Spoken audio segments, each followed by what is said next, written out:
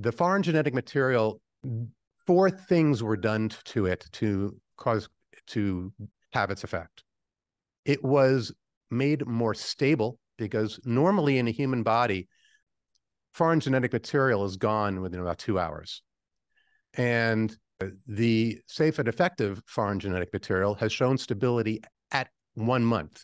So one thing is they made it more stable.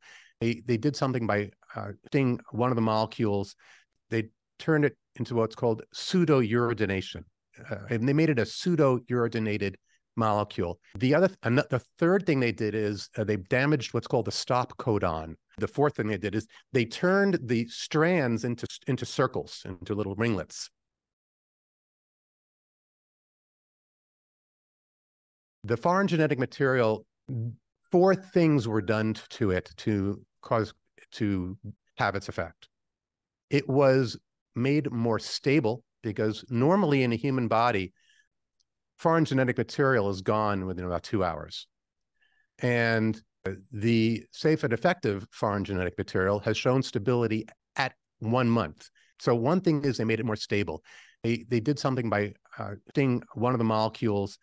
They turned it into what's called pseudo uridination, uh, and they made it a pseudo uridinated molecule. The other, the third thing they did is uh, they damaged what's called the stop codon. The fourth thing they did is they turned the strands into into circles, into little ringlets.